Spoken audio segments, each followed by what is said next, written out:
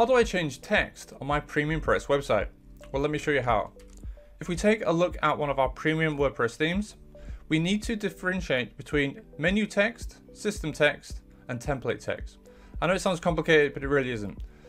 Template text is any of the content you might have edited using Elementor, etc. Menu text refers to this menu section at the top, so this is all part of the WordPress menu.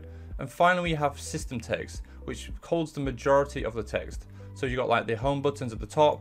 If you click on my account, any of the system pages, you'll be able to edit using the system text option. Now I'll add links to videos to describe how to change menu text and the actual template text in the description below. In this video, we're going to concentrate on editing system text. So the first thing we need to do is log into the admin area. We click on Premium Press, we click on Plugins, and we go ahead and install the text and language plugin. So we're going to be using Loco Translate. So click install now and go ahead and install this. Now once you've installed the plugin and activated it, you'll notice on the left hand side of the menu a new option called Loco Translate. So we can click that to view all of the options. Now before you go any further we need to configure Loco Translate. So we click on settings and the section at the top here where it says skip PHP files larger than 100k, let's just change this to 999 and extra another 9. So we need to allow files throughout the entire theme to be checked for translations. Now we can begin translating the text. Click on themes, select the theme you've got installed, and now you can see all the default translations for the Premium Press theme. So these are all the ones that come pre-installed with your Premium Press website. So as you can see, there are quite a few different translation options. Now, if you get to this point and you have a error at the top saying the text domain is invalid, all you need to do is click on advanced and where it says text domain, make sure these two options here say Premium Press. So for any reason this is blank, make sure it says Premium Press. Okay, let's go back. Now let's go ahead and start customizing our text. If I open a new window, and let's change this home button here to, let's say home 123, just as an example.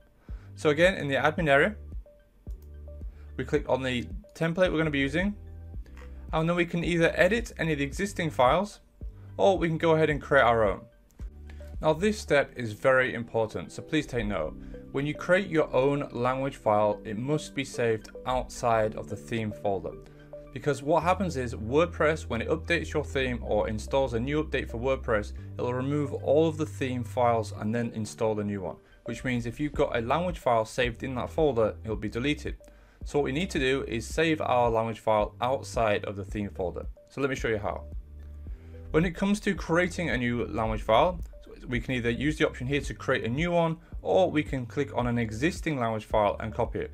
So for example, if you just wanted to make some changes to the German file, you would simply copy it, and then you'll be able to create a new language file from here. And the setup is pretty much the same. Let me go ahead again, let me just show you, we're going to change it home to 123. So we're going to create a new language file using the English language. So we click new, we select what we want, in this case English. And when it comes to choosing where to save this file, we're going to select either of the last two options. Do not select the first option. So in this case, I'm just going to leave it into the Loco plugin options here and click start translation.